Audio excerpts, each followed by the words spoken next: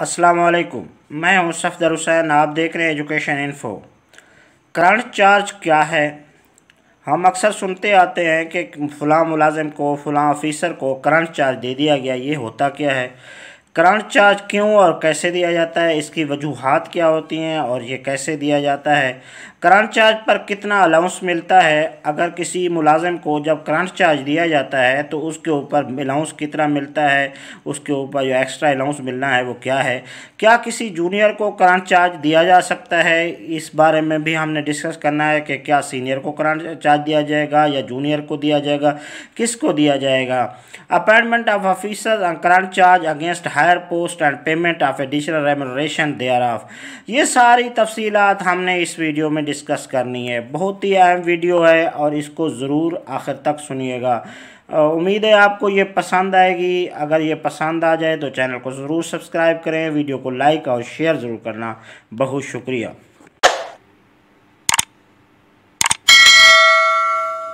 Guideline for current charge arrangement ये पहले मैं ये बता दूँ को जो करंट चार्ज होता है, ये एक अरेंजमेंट है, ये कोई ना कोई प्रमोशन है, ना अपॉइंटमेंट है, यानी मोड ऑफ़ अपॉइंटमेंट नहीं है, ये एक अरेंजमेंट है। यानी स्टाफ गैप अरेंजमेंट से कह सकते हैं कि ये किसी तरह से इंटरम अरेंजमेंट्स भी कह सकते हैं। ये कोई अपॉइंटमेंट नहीं है। हम अक्सर समझते हैं कि ये अपॉइंटमेंट है, ये अपॉइंटमेंट नहीं है।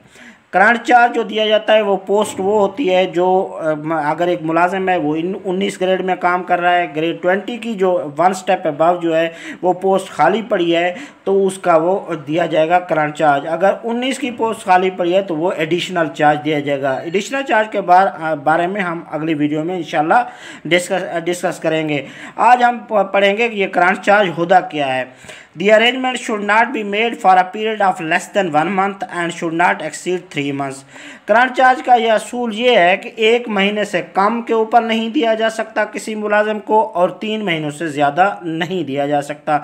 ये एक बुनियादी तौर पर असूल है कि ये अरेंजमेंट जो है एक महीने से कम नहीं हो और तीन महीने से ज़्यादा नहीं हो। However it may be extended by another three months with the approval of next higher authority अगर ये इसकी अगर एक्सटेंशन की ज़रूरत है, यानी तीन महीने के अंदर आपकी रेगुलर अपॉइंटमेंट किसी मुलाजिम की नहीं हो सकती या उसकी वैकेंसी फिल नहीं हुई है तो आप नेक्स्ट हायर अथॉरिटी यानी फॉर एग्ज़ाम्पल पहले उसने जीएस ने किया या एडिशनल सेक्रेटरी ने किया तो फिर आप सेक्रेटरी की अप्रूवल से अगले तीन महीने के लिए एक्सटेंशन दे सकते हैं। इसके बाद कोई एक्सटेंशन नहीं है, यानी मैक्सिमम इसका जो पीरियड होता है वो सिक्स मंथ होता है और मिनिमम जो होता है वो वन मंथ होता है। ये करंट चार्ज उस मुलाजिम को दिया जाता है।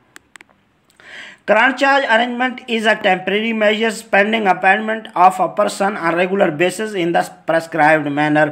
Charge जो होता है, ये अरेंजमेंट है टेम्प्रेरी मेजर्स के लिए लिया जाता है। अगर एक वैकेंसी खाली हो गई ग्रेड 18 की, उसकी जो प्रेस्क्राइब्ड मैनर है, उसका ये है कि वो बंदा प्रमोट होगा।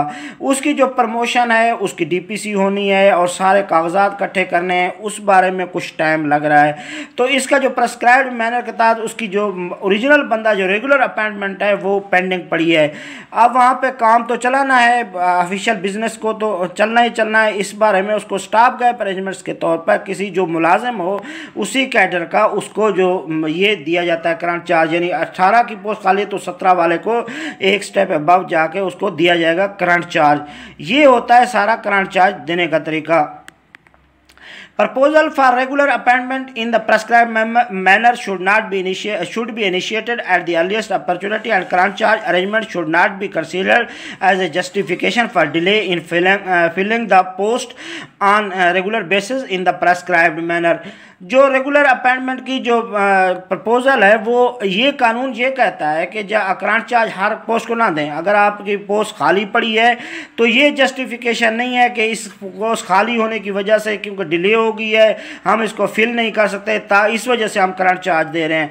करंट चार्ज तो वो अरेंजमेंट है जब आपकी जो ओरिजिनल बंदा, जो रेगुलर अपॉइंटमेंट है, वो पेंडिंग हो। अगर पहला तो ये आपने ये काम करना है, अगर वैकेंसी फिल करें आप रेगुलर के ऊपर, अगर नहीं हो रही तो फिर आप आखिरी लास्टली जो आपने देना है, वो करंट चार्ज देना है। करंट चार्ज की कंडीशन मैंने पहले अर्ज़ कर दी कि वो छः महीने से मैक्सिमम होती है और मिनिमम एक महीना होती है। Six months is considered a sufficiently long period for the purpose of filling of the post uh, on regular basis and therefore the, uh, there should normally no uh, occasion or necessity for seeking extension of current charge arrangement beyond six months. ये six month कानून ये कहता है कि ये six month जो होते हैं, ये सफिशेंट है। अगर आपने नई रिक्रूटमेंट करनी है, तीन किस्म की जो अपॉइंटमेंट होती है, आपने अगर इनिशियल अपॉइंटमेंट करनी है, फिर भी आप सिक्स मंथ के अंदर कर सकते हैं। ये और उसके बाद अगर आपने रिक्रूट प्रमोशन करनी है तो फिर भी आप कर सकते हैं। अगर बाई ट्रांसफ़र बंदा बुलाना है तो फिर भी आप कर सकते हैं। इस इस वजह से ये सिक्स मंथ की जो कंडीशन लगाई लगाई गई है कि सिक्स मंथ के अंदर करें, ये करंट चार्ज के लिए बहुत सफिशेंट है। कानून ये कहता है, फिर इसकी एक्सटेंशन की ज़रूरत नहीं है। Extension of current charge beyond six months require prior consultation with the finance division uh, before seeking the order of the competent authority prescribed in Rule 6 of uh, Civil Servant Act, Act uh, Appointment, Promotion and Transfer Rule 1973. अब ये कहता है कि अगर six month के अंदर बाज़ात F P S C होती है, जो मतलब फेडरल पब्लिक सर्विस कमीशन है, इसको बाद दो साल लग जाते हैं, तीन साल लग जाते हैं तो आपने फिर क्या करना है? अगर सिक्स मंथ तो वहाँ पे पहले एक अथॉरिटी एडिशनल सेक्रेटरी था, वो तीन महीने उसने दे दी, तीन महीने नेक्स्ट सेक्रेटरी साहब की जो अप्रूवल से वो सिक्स मंथ हो गए। अब आगे सिक्स मंथ के बाद आप इसको कंटिन्यू करना चाहते हैं। तो फिर इस बारे में कानून क्या कहता है? कानून ये कहता है कि अगर छः महीने से ज़्यादा आपने करंट चार्ज के ऊपर बंदा रखना है या ऑफिसर्स को आप देना है अरेंजमेंट तो फिर आप इसके लिए आपने फाइनेंस डिवीज़न की अप्रूवल की ज़रूरत होगी।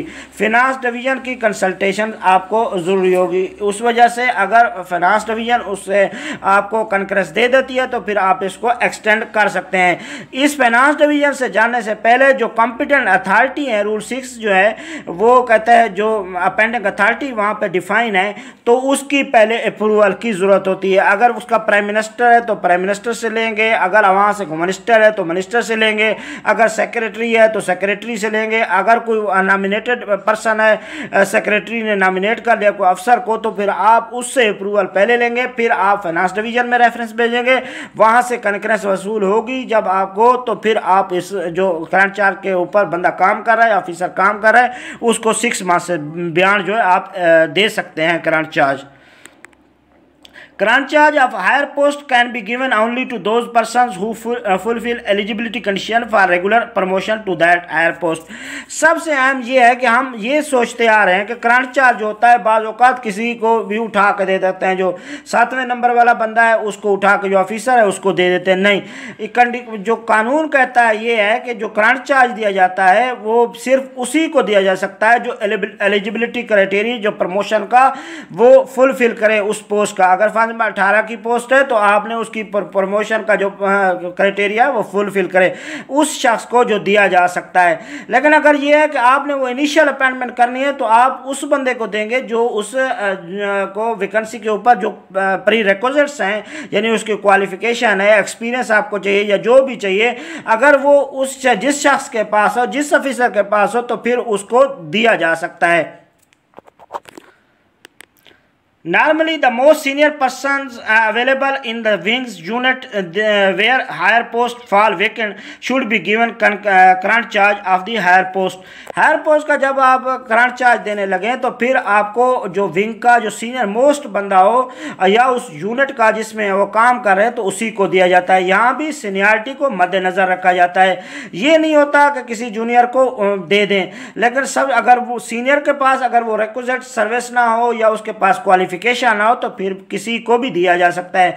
यहाँ एक क्लास का ज़िक्र नहीं है। फॉर एग्ज़ाम्पल एक क्लास है ओएमजी अफसर हैं तो ओएमजी वालों को देना है नहीं। यहाँ पे है, उस पर्सन में जितने भी सीनियर मोस्ट जो भी ग्रुप्स हैं, उन ग्रुप्स के अंदर या जो भी कैडर के जो बंदे हैं, उन सबको एक जगह कंसिडर की जो उनमें से सीनियर मोस्ट होगा, उसको करंट चार्ज दिया जा सकता है। Who is called upon to perform additional duties should not exceed an amount equal to 20% of pay subject to maximum Rs uh, 12,000 per month in the original post.